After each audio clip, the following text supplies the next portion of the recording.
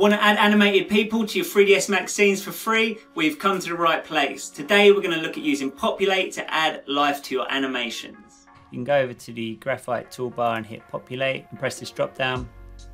And if you don't have Populate installed, you'll need to go over and download it from the Autodesk website. Google 3ds Max Populate.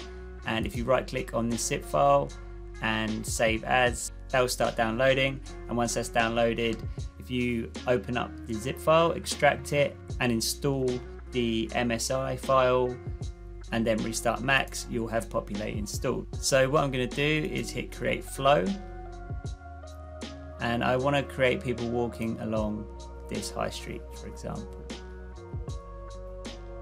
I'm just going to draw that in there and you can see you can keep this going, you can draw around the block. I'm just going to right click to stop it there and I'll go to the perspective view and zoom in. And now if I hit simulate, 3ds Max will load up some people and animate them according to our parameters in the flow.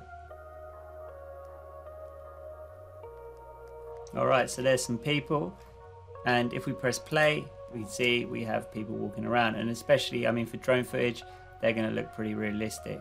Um, we can actually change some of the parameters. So if we want to change the width, of the sidewalk, for example, we can make it smaller. We can change the density of how many people are on here, uh, the speed of them.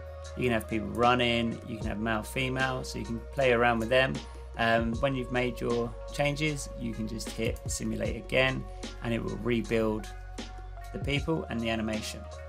So there we go, we've got some pretty realistic people in our scene, animated, walking along our high street.